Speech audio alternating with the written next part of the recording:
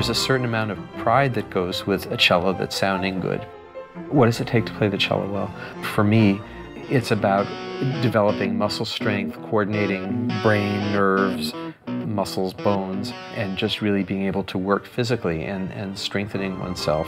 Along with that, developing one's ears. There's more there. There's a little more uh, pasture or meadowland. My name is Joshua Koestenbaum. I'm a cellist in the St. Paul Chamber Orchestra.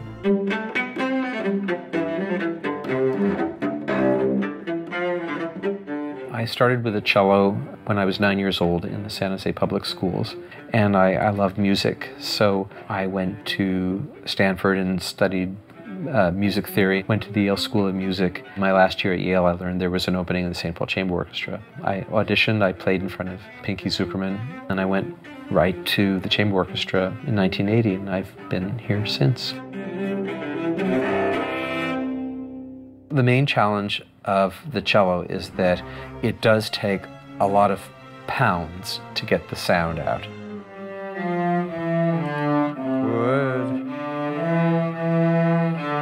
Do you see all that strength you have? Just try it one more time. Try to stand up. Okay. So that's all the power you have.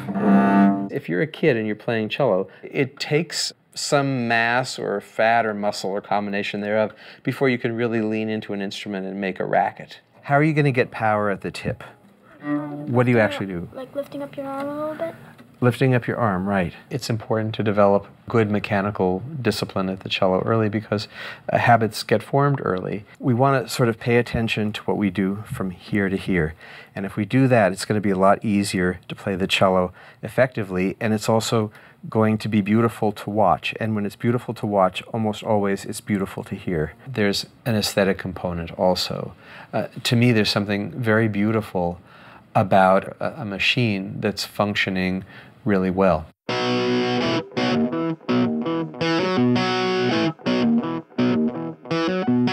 So this exercise is for the lower back, for the hips, pelvis, all the muscles down here that are really essential to playing cello. I had made a decision that I wanted to get in as good shape as, uh, as possible and I got myself a trainer. I went in and said, I'm a special case scenario, I'm a delicate blossom, and I want a trainer who understands that I must not be strained in the process of developing muscles. I got the housekeeper from the Brady Bunch.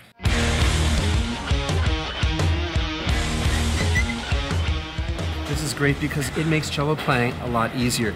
Not only are my arms bigger physically, there's, there's more mass there, um, but it, it, just makes it into a, a, toy cello, basically. I've been doing this for nine years and I feel that the cello feels more and more miniature. It takes less work to get the job accomplished.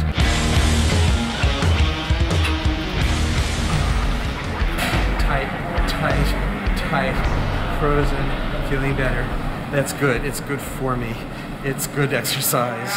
What I don't like about playing cello, what I can hate about it sometimes, is finding that I'm doing what I perceive to be all the right mechanical, physical, musical gestures, and finding that those gestures are thwarted by an old string, an out of adjustment cello. I found that really good instruments can get out of adjustment very quickly.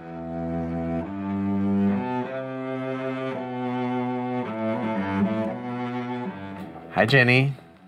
Hi, how you doing, Josh? Doing all right. You? Oh, good. Nice to see, you. see you. My cello adjuster for the last 30 years has been Jennifer Becker. She comes from a long line, at least two or three generations of very important instrument makers and restorers and adjusters. Cello is slightly misbehaving. Ah, okay. It's not bad, but. What else? How's the bridge height? Um, it's a little high right now. I've known Josh Koestenbaum at least 30 years. He was my second customer interesting sound. I'm a rock star.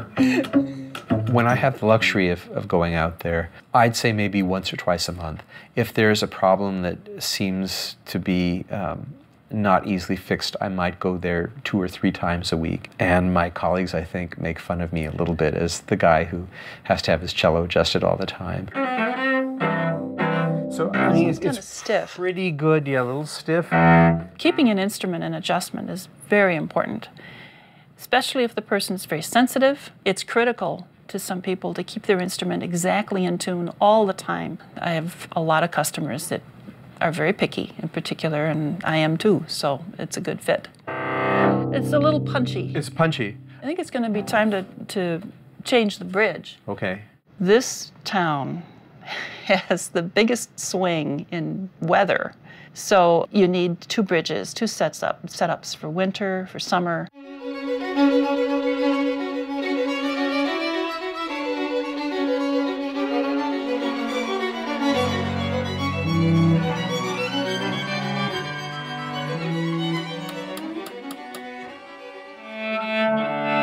You know, it's uh, buttery. There's a, there's a, It's difficult to put into words how an instrument sounds, how it feels. Josh comes up with very colorful ways of putting things. it got a little thin, a little skim Yeah. milky, a little bit like playground with metal swings and equipment. It's just, it's not fortress-y yet. Yep. And I like a sort of instant on grab, like a Mercedes door shutting. 100% of the times that I've come out to see her with a complaint, she has not only understood the complaint, but she's said, oh yes, here's what we need to do, and she's been able to fix it.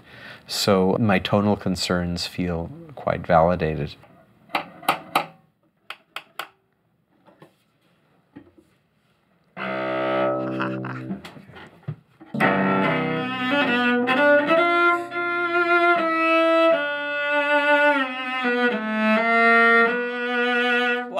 This really is the best great. we've had with this bridge. This is great. If you think about it, when we listen to uh, radio or watch TV, we have all of the controls right in front of us. But with a cello, we have to have someone take primitive Fred Flintstone style tools and go ka-chunk, ka-chunk in order to get a certain result. That's just the state of the art right now in 2010. Oh, good to see you. Great to see you.